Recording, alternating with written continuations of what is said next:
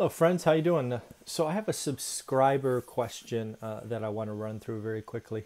Uh, but before I do that, do me a favor. I don't do this enough. If you've been watching these videos and you've seen two or three, do me just a huge favor and hit that subscribe button. It really does help. It's kind of my daily motivation to keep doing these videos.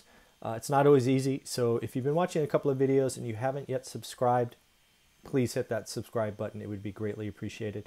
If you happen to like these videos, go ahead and hit that like button. Like button, as Graham Stephan says, it helps the YouTube algorithm. I don't even know what that is, but heck, if he does, I'll say it too. And then most importantly, what I enjoy are comments.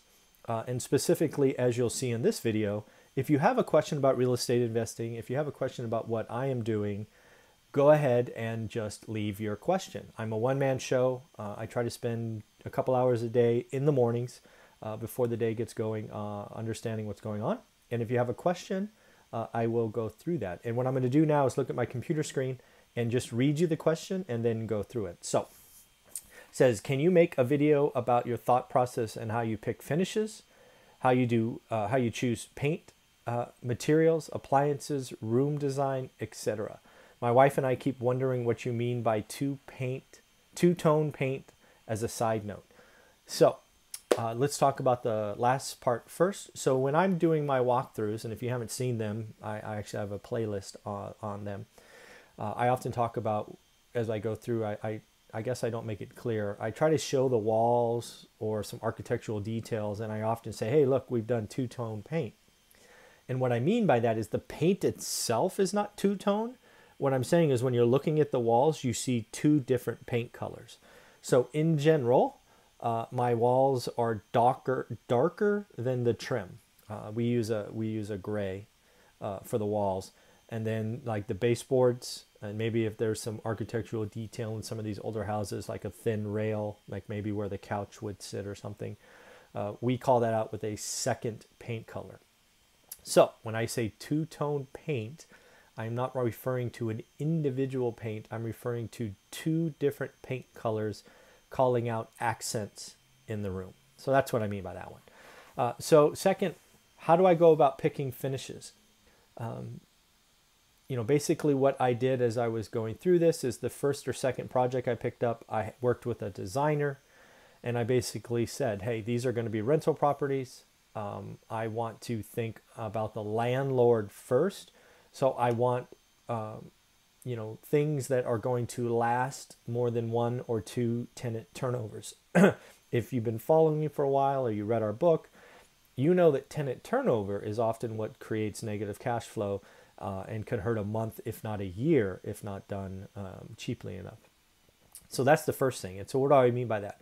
Uh, so, we put in laminate flooring uh, through most of the living space, right? The bedrooms will be the only ones that get carpet because, again, tenants kind of revolt if they don't have uh, carpet on their feet in the morning.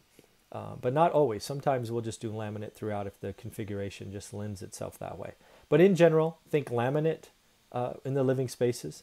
Think tile in kitchen and bath. Again, where there is water, we are trying to, again, um, put in fixtures once that will last multiple turns, and tile does better. So that's what we do. And then bedrooms get carpet. Uh, as far as the carpet goes, uh, I basically plan for it to be taken out each time a tenant leaves, uh, hoping we get the average turnover in an apartment of two years and a house of five years. Uh, so it doesn't really matter. We don't get the cheapest, we get kind of one up. We do put in a slightly nicer pad. Um, but again, the rooms are 10 by 10, 10 by 12, 8 by 10, right? So these are small, sometimes even remnants. But that's what we do. Uh, as far as appliances go, uh, I don't want any extras, right? I don't want water water filters and ice makers and garbage disposals and uh, dishwashers uh, in my units. I've done that in the past, and um, I don't know why, but it, in my experience, even garbage disposals uh, can can create lots and lots of service calls when people put in eggs or bones or, or whatever. Uh, so I no longer put those in my units, right? I do put in a stove and I do put in a fridge. I put in new versus used. Uh, I think the cost difference is uh, not all that much. Uh, and again, I'm not putting in stainless steel. I'm not putting in, you know, I'm putting in generally white units Uh, if for some reason a stainless steel unit happened to be on sale the same day for the same price, sure, uh, but that's not what I'm going for, right? I'm going for functional um, over some, you know, I'm not living there, right? That's that's the other thing, right? These are these are rentals. Uh, I'm thinking of the landlord who's going to buy it, so think of repairs and keeping those low, um, and also um, think functional uh, and think less service calls. So no water filters, no ice makers, no garbage disposals, no dishwashers. Uh, room designs. Really, when you think about room designs, uh, the only thing I really think about is is if we're adding a wall and a closet to create a third bedroom, because maybe you shouldn't have a family room and a living room next to the dining room, which I've seen in some layouts. Um, you know, those are that's it, and then you just have to follow the the rules, right? Excuse me. Must be something in this room that makes me sneeze. Anyways, uh, so again, back to the room design. Uh, I think I think it's 80 square feet plus the closet plus egress, meaning a window to exit in case of fire. Uh, but check your your city and your town for that. It might be 100 feet. Um, but anyway, so that's that's what we're looking for. Uh, I don't overthink it.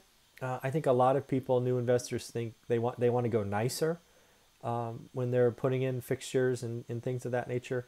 Um, that is often a mistake, even down to the lights right? Uh, you see in lots of our units because Fresno gets hot, we put in ceiling fans. Um, but again, we don't put in top of the line or even midline, right? We put in functional, uh, you know, ceiling fans, and that's what we're trying to do. Uh, because again, if we have to replace the ceiling fan and we want it to be 60 80 100 dollars not 200 dollars uh, so that's what we think about uh, we think uh, again the whole goal is um, being cheap for the landlords and functional for the tenants uh, and then lastly, once once I did this kind of design, um, I just repeat it everywhere. Uh, I'm not in the business of trying to create one design for this house and one design for that house. I want it to be the same every time. Uh, so that just speeds up the process. You can buy a little bit more in bulk. You can take your leftovers from one project to the next. So uh, I don't. Uh, if it works, I don't I don't change it. So hopefully that makes sense. Hopefully um, that helps you and your wife um, move along. All right. Have fun. Take care.